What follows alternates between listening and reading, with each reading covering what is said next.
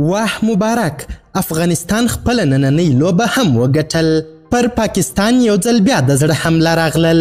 د افغانستان د کرکټ ملي لوبډلې په روان نړیوال جام کې له پاکستان وروسته سریلانکا ته هم سخته ماتې ورکړل چې له امله افغانانو او د اسلامي امارت مشرانو د خوښۍ ترڅنګ درنې مبارکۍ هم ورکړي دا چې د افغانستان د کرکټ ملي لوبغاړو سریلانکا ته په څومره توپیر ماتې ورکړل په اړه د افغانستان د اسلامي امارت کومو کومو مشرانو درنې مبارکۍ ویلې او دغو د اسلامي امارت مشرانو نور څه ویلې بشپړ حال را سره هم دغه روانه ویډیو کې کتلی سئ سلامونه قدرمنو لیدونکو مشال پریس یوټیوب چینل ته مو هرکلی کوم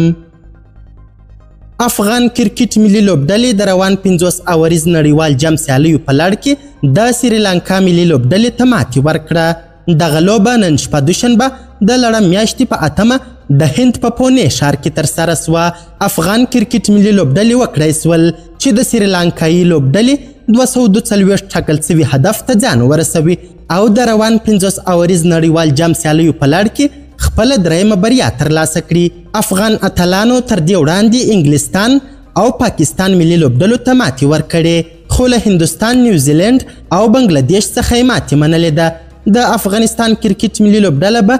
د نومبر میاشتې په درېیمه د نیدرلند ملي لوبډلې سره د سیالۍ ډګر ته کښته سي نن سریلانکا د افغان لوبډلې لخوا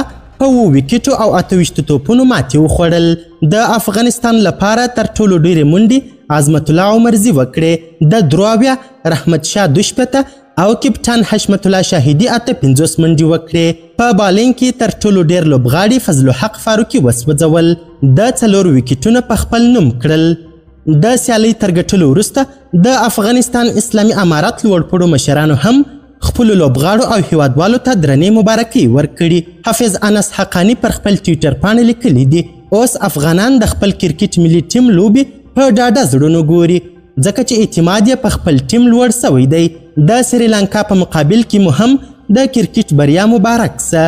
د کابل د امنیه قومندانۍ ویاند خالد زدران په خپل ټویټر پاڼه لیکلي دي مبارک مسګرانو هیوادوالو له انګلستان او پاکستان وروسته مو سریلانکا ته هم په نړیوال جام کې ماتې ورکړه د یادونې وړ ده چې دغه لوبډلې ټول د خپل وخت اتلان یعنی چمپین پاتې شوي دي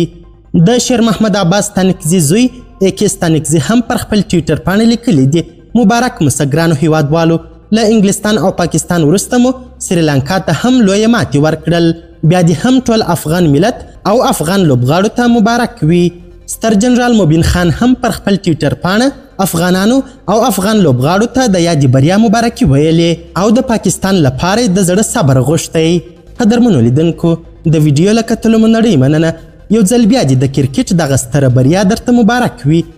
د لا زیاتو او نور لحظه پر لحظه خبري مطالب لپاره زموږ همدغه مشال پریس یوټیوب چینل سبسکرایب کړي تر بیا او بلې ویډیو ښه وخت ښې چارې